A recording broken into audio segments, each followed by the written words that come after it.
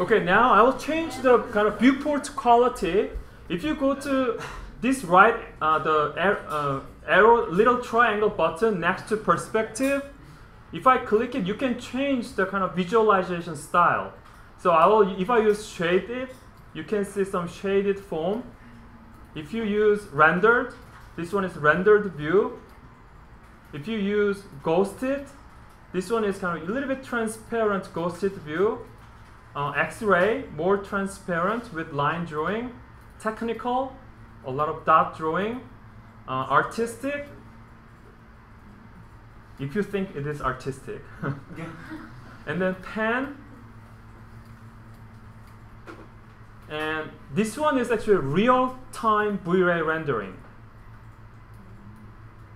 And unless if you have very good computer, I would not use it because every time you move your mouse, it'll kind of wait and then render it on real time.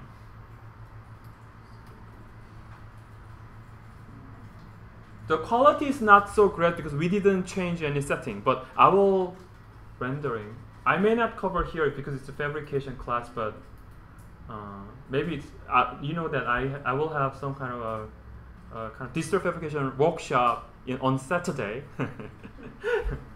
so I go back to wireframe because mainly because wireframe is the fastest one. Okay, so you got that, and then I will. Um,